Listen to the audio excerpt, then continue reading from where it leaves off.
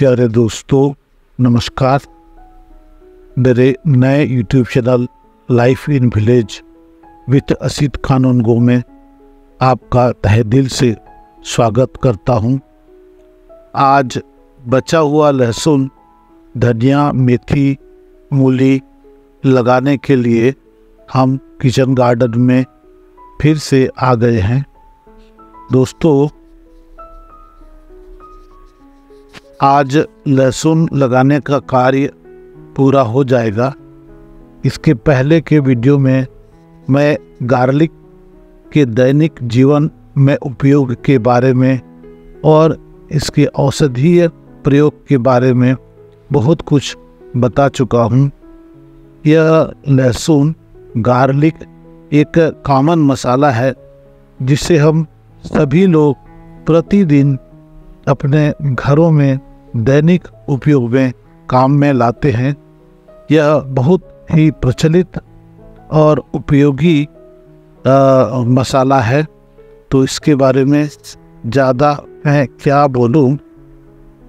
दोस्तों, एक निवेदन मैं करना चाहता हूँ आप लोगों से। एक छोटा सा निवेदन है, आप सब जानते हैं, वीडियो बनाने में बहुत मेहनत लगता है। तो यदि अभी तक आप मेरा चैनल सब्सक्राइब नहीं किए हैं या पहली बार मेरा वीडियो देख रहे हैं तो कृपया चैनल को एक बार ज़रूर सब्सक्राइब कर लीजिएगा। बड़ी मेहरबानी होगी। और अन्य सोशल मीडिया ग्रुप में अपने दोस्तों को शेयर कीजिएगा। मुझे हमेशा आपका प्यार और आपका सपोर्ट मिलता रहा है। आगे भी मिलता रहेगा। इसके लिए मैं आप लोगों को बहुत बहुत शुक्रिया अदा करता हूँ। दोस्तों, लहसुन खाने के फ़ायदे आप सब जानते हैं।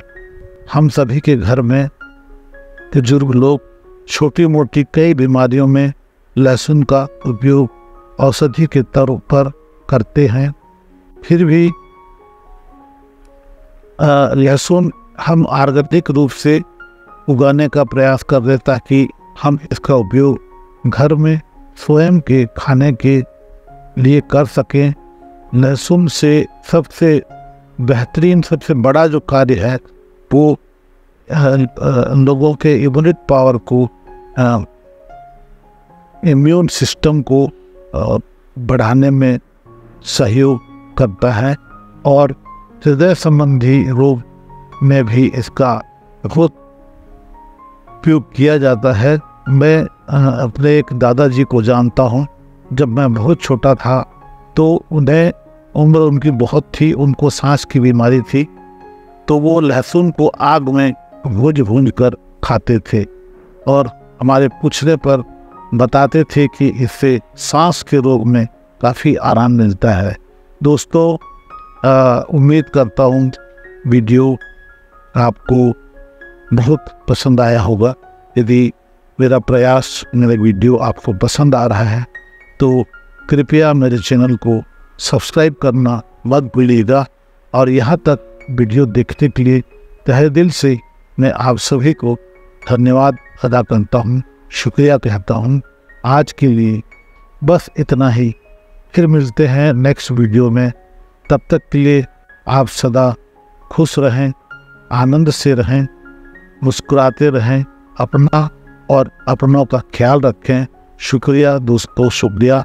अपने सेहत का ध्यान रखें और समय मिले तो आप अपने अपने शहर के आसपास के गाँव में कभी कभी विज़िट भी करें। बहुत आनंद आता है। गाँव का रहन सहन यहाँ के संस्कार, यहाँ के तीज त्यौहार में बहुत आनंद आता है दोस्तों।